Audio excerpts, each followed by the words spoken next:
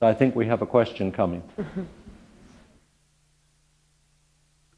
I was just noticing when you're talking about the youngsters in the company and how proud they are, you sound almost like you're talking about your own children. Is that how you see them? No, I don't see them as children, but I see them as young artists. Oh, we have mature artists too. Uh, no, I, I, I don't see them as children. I see my cat as a child, but that's what happens when you don't have your own children, I guess. Um, no, they're very, they're very grown up and developed, and they don't, they're not children. They, uh, they're quite forthright in their opinions and yeah, I mean, maybe some of the apprentices when they're 18, but uh, no, I, I, I, like to nurture them, but I don't necessarily think that's the same as uh, considering them children.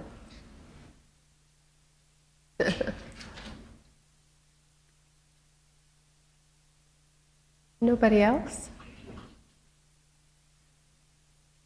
Dance at all in your home, in your living room?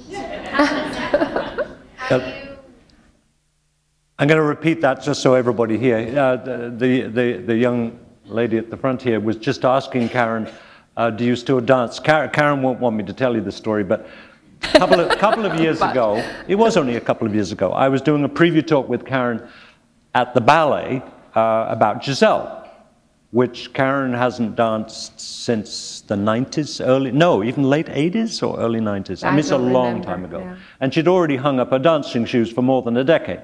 So at the end of this, and, and Karen, we were talking about Giselle, right?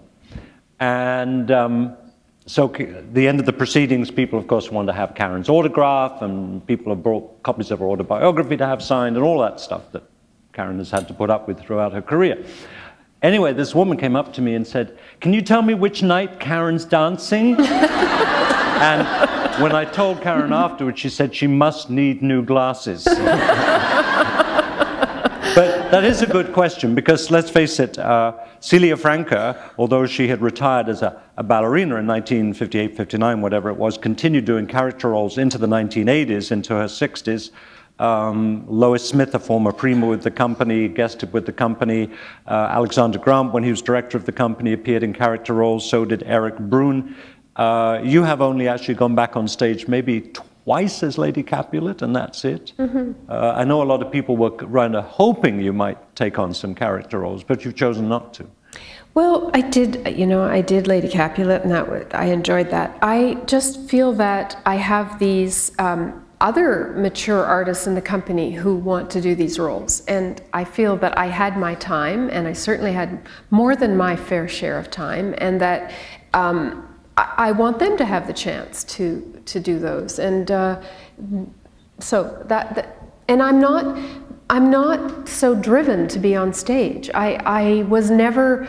Um, I was on stage because I love to dance, not because I love to perform. The performing part was the hardest part for me, and I had to work many years on my stage fright and and the pressure of performing. But my love of dancing was so strong that I was willing to put up with that. Um, but I don't, I don't miss being in the spotlight. I actually really like being behind the scenes and enjoying it from the darkened theater. So I have no, you know, some people just can't live without it. They just have to be up there. And I, I'm not like that. So, um, oh, and dancing, um, there you are. I, um, I, I try to exercise when I can. Uh, I'm not very good about it. I feel better when I do it. Actually, the one good thing about being on tour is I could go for long walks every day because I wasn't in so many meetings. um, I do kind of dance around my kitchen a little bit if I like the music, but I usually stop pretty quickly because it hurts. um, the odd fundraiser, if the music's really great and I've had a few glasses of wine, I'll get up and, but no, I, I don't really dance anymore.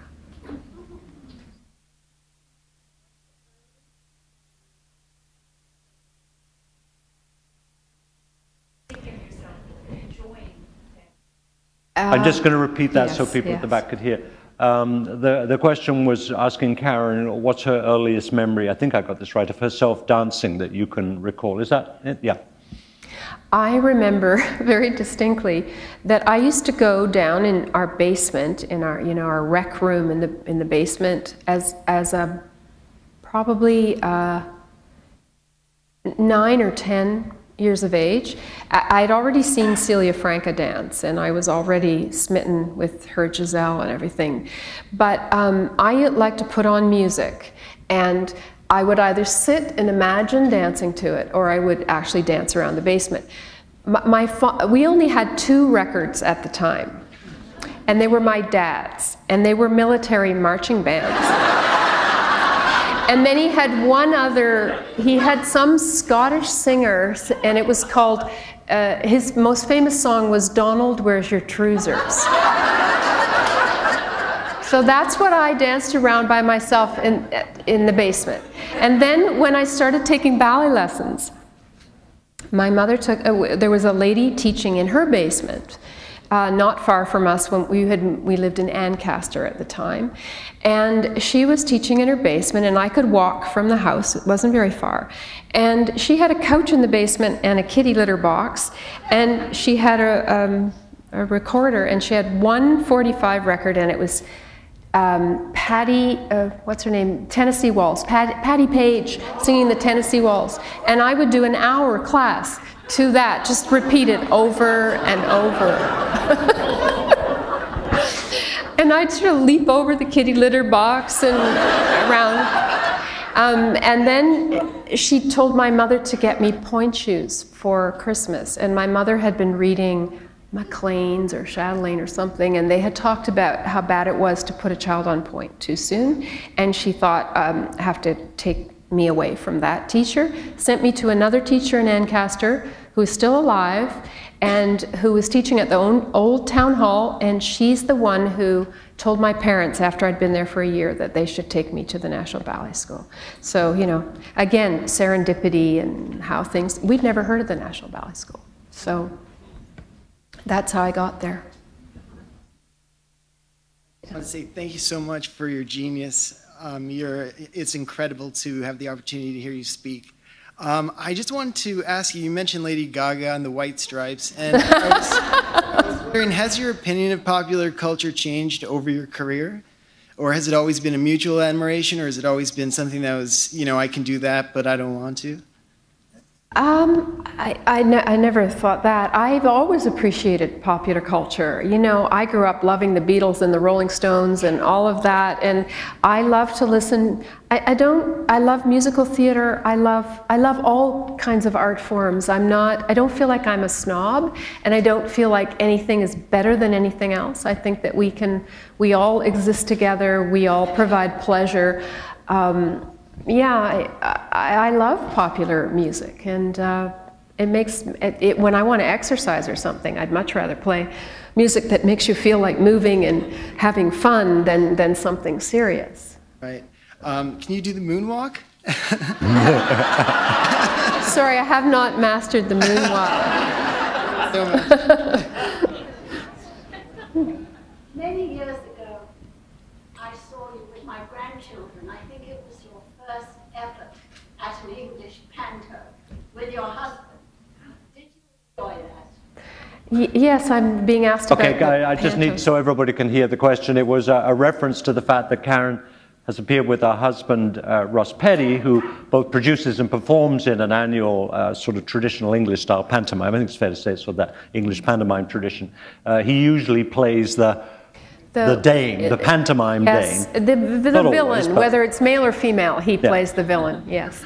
uh, but, but, you appeared, uh, what did you, I, I, think I saw that. What were you? you were... Um, well, I, I don't even remember what year it was, but the British, the original British producer, um, whose name, uh, I mean, he, he's also a producer of Private Lives that's right now here in town. But anyway, uh, Paul he, he approached me uh, uh, and asked if I would like to be in, in um, I, I, can't remember which one it was. And I had just met Ross, but my husband. But I was thinking this would be good for me because I have never spoken a word on stage, and I, I need to make myself have the courage to go on stage and talk.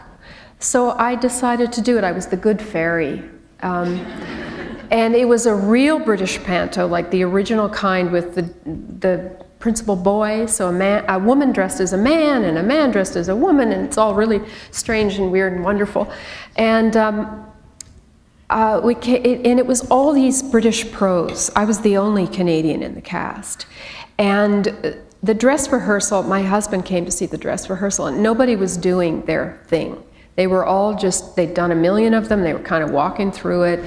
The sets had just come off the boat from England, they were all look, looking terrible. The lighting wasn't done.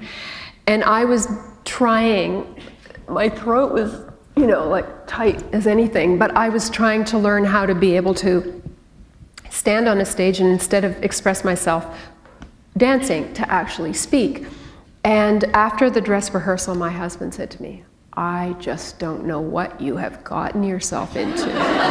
Because it was really, really bad. I mean, and the next night, the next night they all came to life, and the physical humor was incredible. That Brits, they know how to do this. It just at, at, their fingertips. And it was fantastic and silly and fun. And everyone loved it. And he, he saw, and then he thought to himself, my husband, I could do that. so the next year we were both in it. And then this British producer said, I'm not making any money in Canada. I'm going to stop doing these shows. And Ross said, let me produce it.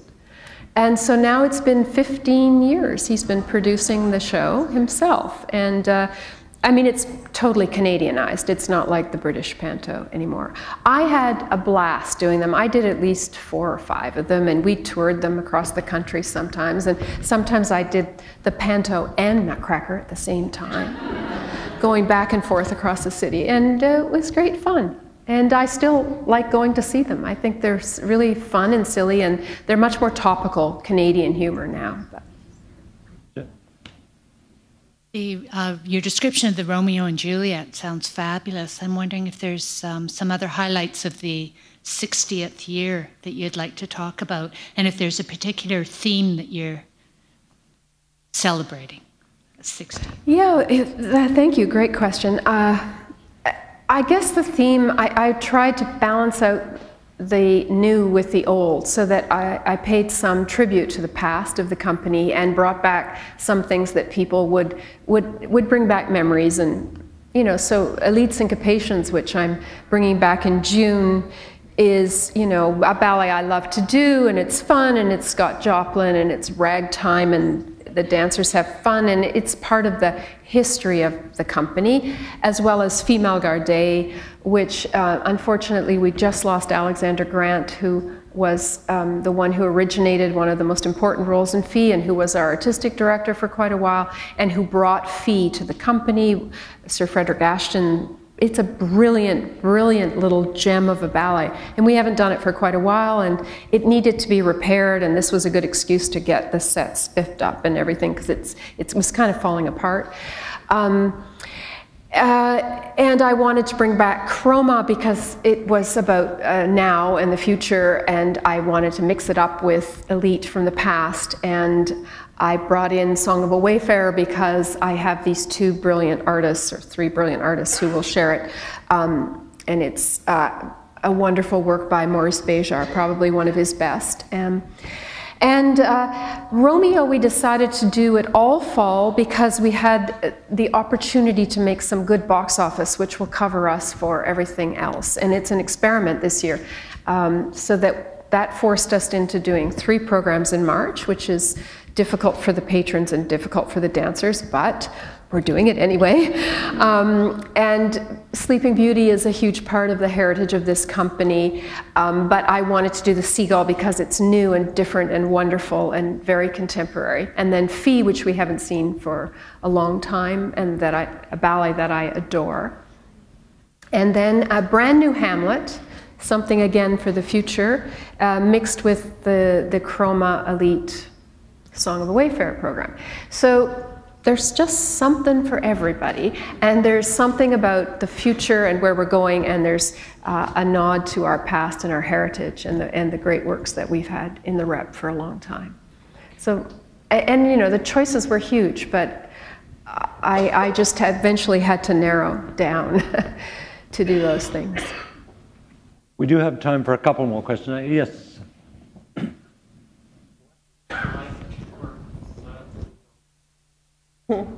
Okay, the question was what was it like to work with Rudolf Nureyev? And for those of you who don't know the backstory to this, I think Karen will probably agree that, that when Rudolf Nureyev arrived to work with the company in 1972 to stage The Sleeping Beauty, which Karen has personally revived and, and sort of nursed back to life because it had got a little rusty and so on back in the late 90s, and which you will be able to see this season.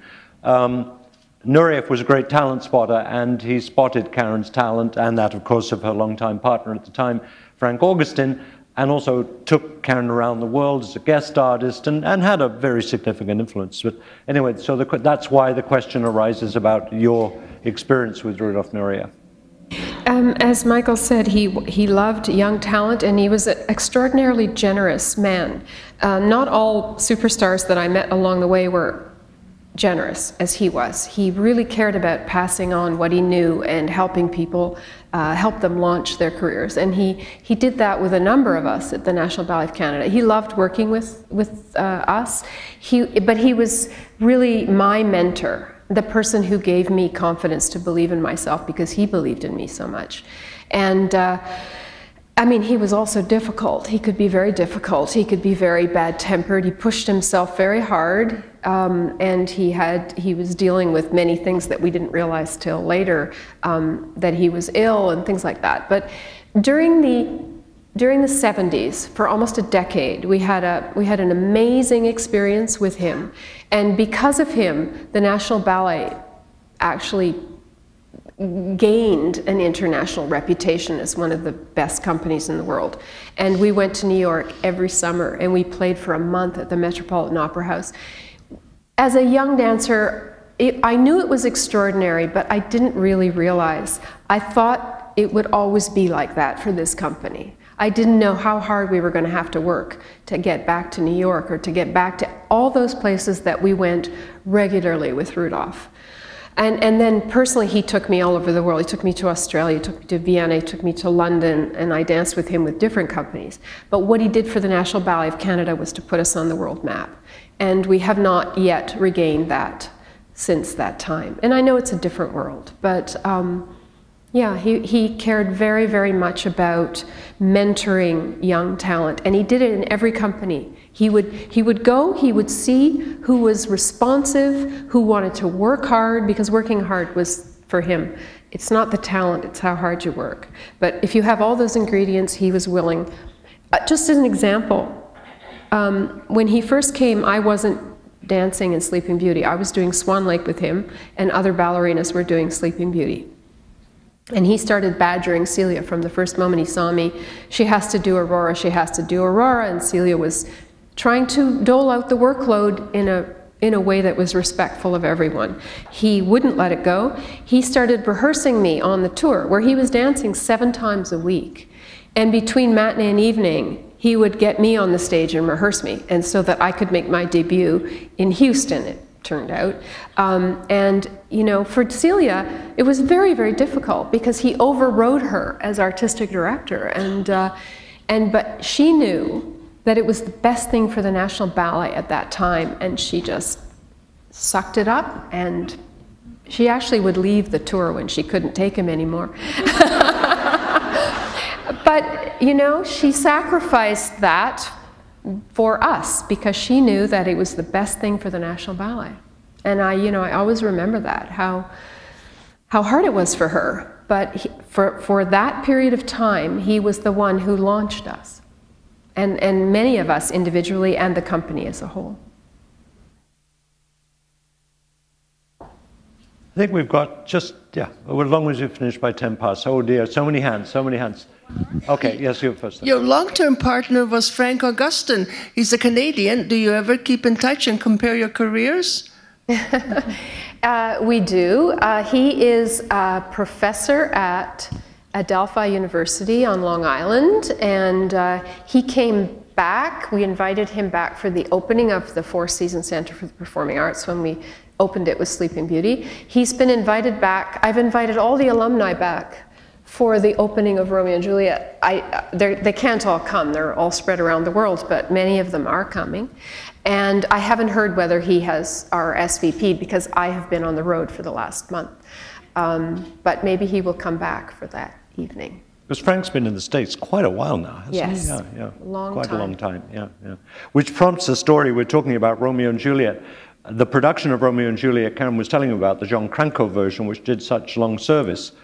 Um, the first production they built, with, which was a re essentially a reproduction of what this designer Jürgen Rose had made for Stuttgart, and it was reproduced another version here, uh, was part of, a large part of it was burned. Remember, there was a fire, and a large part of Romeo and Juliet was destroyed. I think it was in 72, something like that. Mm. And then when Alexander Grant was director, they managed to get the money together to revive it. And the premiere of that revival, having rebuilt the costume sets, whatever, was in Montreal at the Cultural Olympics with Karen and Frank uh, doing the opening night. Remember that in the, the Cultural Olympics? And I happened to be sitting next to Alexander Grant, and at the end of the balcony scene, where there's an intermission, uh, I turned to him, and he had tears streaming down his cheeks. And I said, Alexander, what's on earth the matter? You're crying. And he said, I was going to ask you the same thing. that's, that's what the power of great dancers can do for you. I'm not, I'm not, sure, if I, I'm not sure if I told Karen this. There, there's um, a performing arts lawyer I know in Washington, D.C., who's a big, big ballet fan. And he went to London for the um, Royal Ballet premiere of Alice in February. And then he, obviously, so curious, he came here to see the production here. And not only did he think that the company danced it better, but the other thing which I think is really interesting uh, was he said, and key to that was the fact that the orchestra here in Toronto was so much better than Covent Garden. But the, um, our orchestra just love it, and, and the, but the acoustic in our theater is also superior. Um, I, I love that our orchestra are also really keen on all the new work, and they love Joby Talbot, the composer, and he also did the music for Chroma. So they'd already worked with Joby Talbot, and Joby loves them, and he loves the way his music sounds in Toronto. So um, it, it, was sort of a win-win. But uh, we've just sent it back to England, and it'll be coming back again, and uh, we'll just keep sending it back and forth across the ocean, and uh, Yeah, and we, we will have it back uh, in the near future so that everyone who missed it, because I had a lot of complaints that people could, I couldn't get a ticket for my own husband. You know, it was really, we've never had that happen. So next time we'll put on more shows. well, we're more or less finishing up on, on the schedule that I was given. Um, I'm sure there probably were more questions you'd like to ask, and there'll be other opportunities. Do, don't forget, Karen is often speaking at the ballet in preview talks, so you should keep an eye out when she's making an appearance at one of those. Um, on your behalf, I would like to thank, well, obviously the Toronto Star and the Toronto Reference Library for making this event possible, um, but most especially, of course, Karen for taking time from what I know is a very busy schedule to be with us tonight and to to share with us her insights and her stories and her pride in the National Ballet, which is celebrating its 60th anniversary this year, and Romeo and Juliet opens on the 16th of November. Thank you, Karen. Thank you.